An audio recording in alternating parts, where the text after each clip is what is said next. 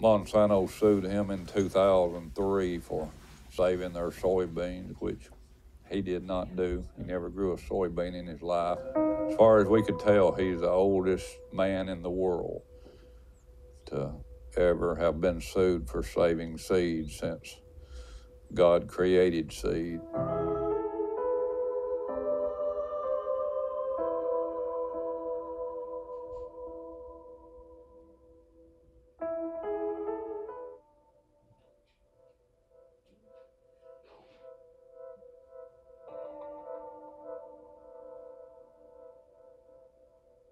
I've been growing these seed about 20 years. Some of them may be 30 years. Monsanto sued about seven farmers around here, and they threatened to sue 75 farmers. If them was GMO seed and I did it on that machine, it would be illegal. Get sued, lose everything you got. That would be called assisting farmers to violate intellectual property rights. Thousands of years tradition of saving seed is, is over with. In the 1930s, the first US patent was given to a plant. This was given to promote diversity. However, in 1996, when the first GMO seed was introduced, these companies used these rights now to gain their own advantage over the industry, harming farmers, families, and consumers alike. As a result, the agriculture industry has been monopolized by four major businesses due to a series of mergers. These companies, known as the Big Four, now control around 60% of the proprietary seed in the world market.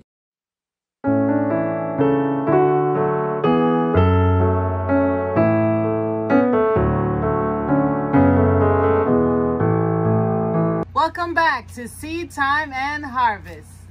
As you may know, there's always things to do in the garden, and today we're going to be sprouting our seeds. The Lord has opened a way for us to be able to assist individuals who don't know how to garden or may have a garden but having trouble getting their garden started again. And we've been able to receive the privilege to help.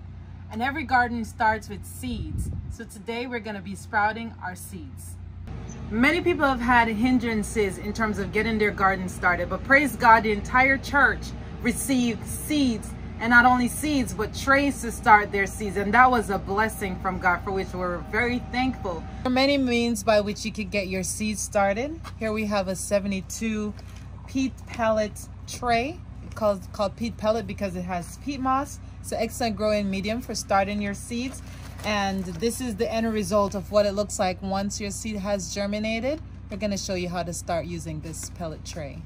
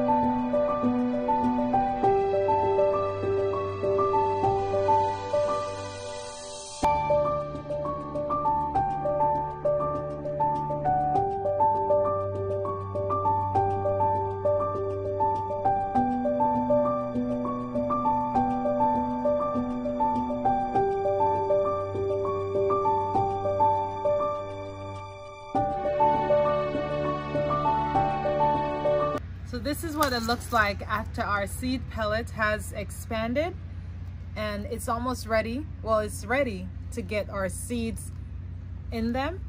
Before we start the seeds, I just want to give you a little bit of information about this seed starting tray. It's actually a mini greenhouse kit. It also includes six plant labels so that you're not foreign as to what you're planting.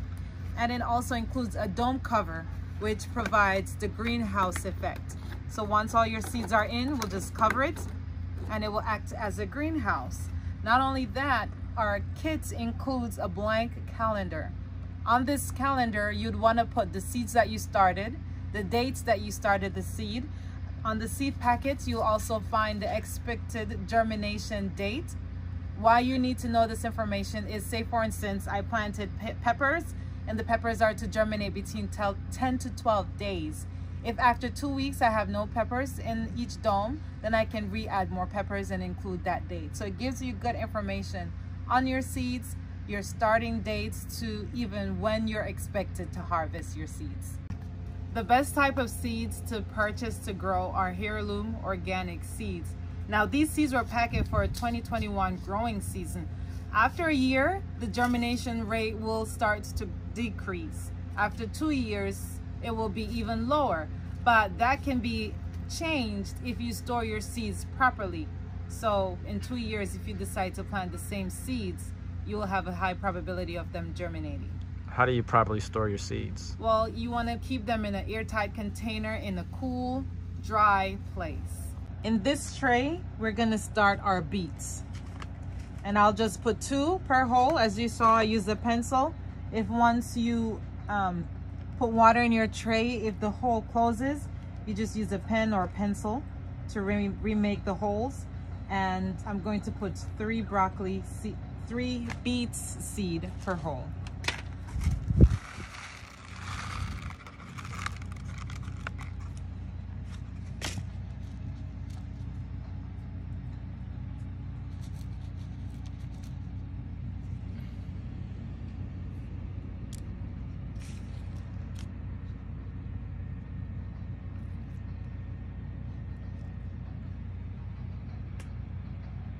We actually put two seeds per hole because it is actually more than one seed in each pod.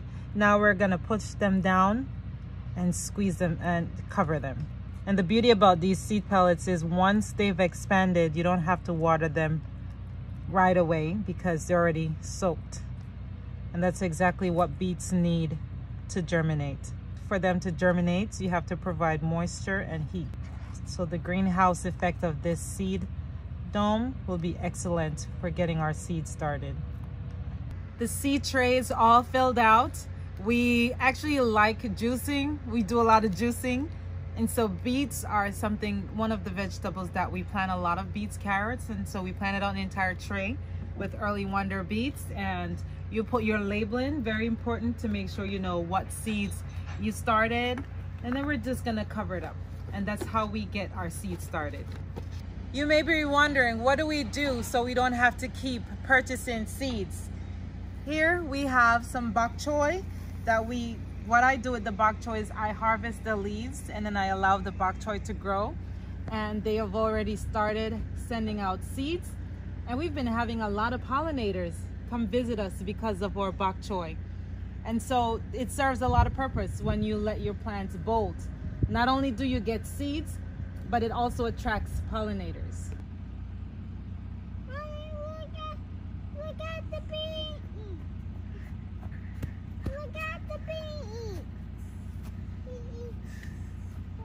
All our seed trays were planted out. We did about six trays with different veggies. It's gonna take about a week and a half for them to get sprouted and an estimated three to four weeks before they can be transplanted. And during that time, we're going to seek out good homes for these plants. Until then, thank you for joining us on Seed Time and Harvest. Happy planting.